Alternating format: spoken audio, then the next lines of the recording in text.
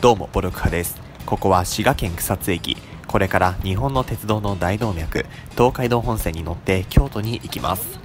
東海道本線は日本の在来線の中でまさに王者とも言える存在。様々な優等列車が走り車両も新しいものばかり。しかしこれから乗る東海道本線の京都行きは2022年9月の時点の東海道本線で最も古い車両が使われます。草津は東海道本線の他にも木生川柘植方面の草津線も通っています。朝と夜は東海道本線と草津線が直通運転をしていて今回注目するのはその草津線から直通でやってきた東海道本線の列車です。これから乗るのは草津20時31分発普通列車京都行き。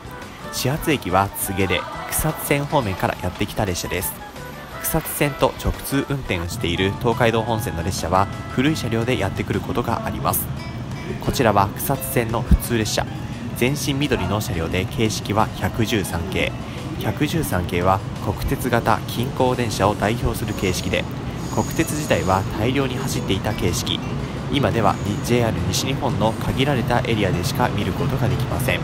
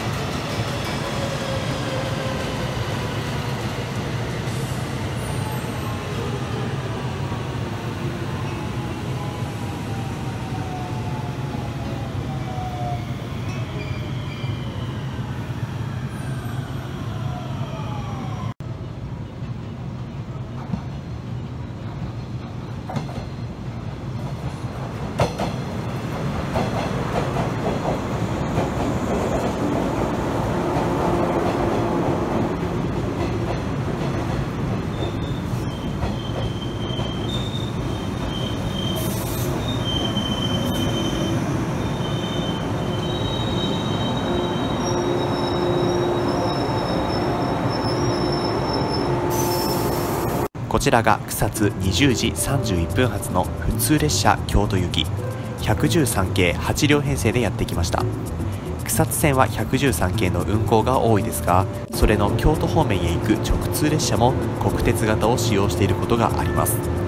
草津から京都までこれこそが東海道本線を走る旅客列車で最も古い形式となっているわけです。登場から40年以上が経ちこれらの車両たちは国鉄時代の様子をよく知っています。そんな車両が令和になった今でもこうして大動脈である東海道本線を走っている。驚きの光景です。入線してきた時の映像で気づいた方もいると思いますが8両それぞれで色々個体差があります。それも後で見てみましょう。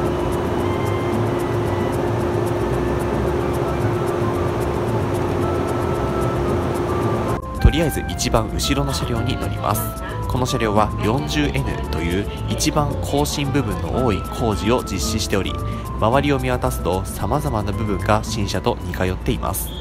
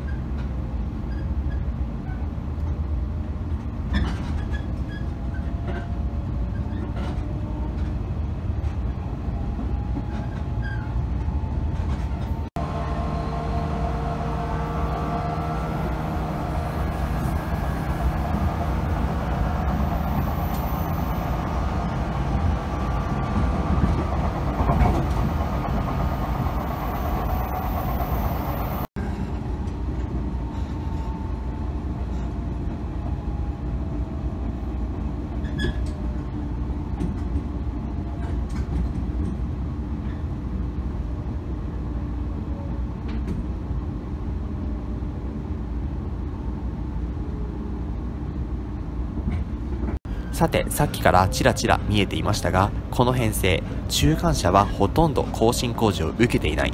つまり昔のままの状態を多く維持している車両となっています。見てください。懐かしのバウンドするような座り心地の4人用クロスシート。これが2022年になっても東海道本線を走っているわけです。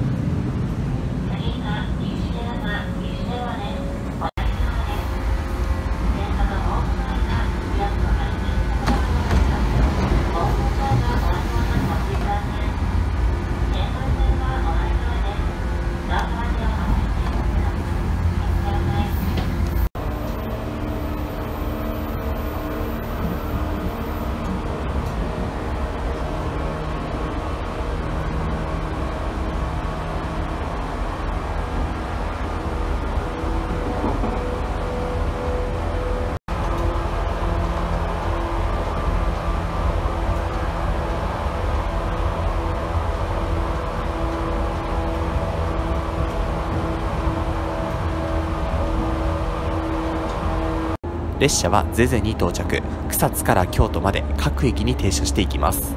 草津線や湖西線で使用されている今乗っている113系を含めた国鉄型電車は引退の時期が間近に迫っています。2022年10月には湖西線から国鉄型車両の運用がかなり減るらしく草津線の運用もかなり危ないです。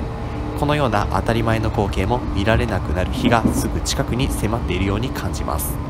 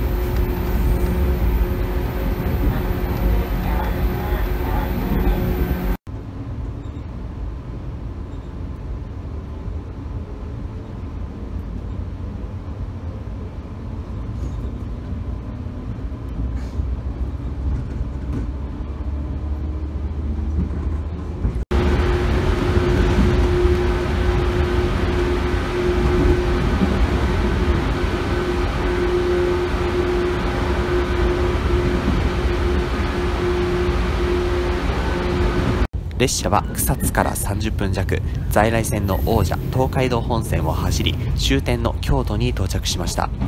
確かに製造から40年以上経った形式が東海道本線を走っている光景を目にすることができました。113系もかつては東海道本線全線で走っていましたが静岡エリアや東京口の113系なんかは遠い昔のように感じます。しかしその光景を蘇らせてくれるような存在のこの列車。113系の全盛期を知らない私たちからすると博物館のような列車でした。以上東海道本線を走る最も古い車両の紹介でした。ご視聴ありがとうございました。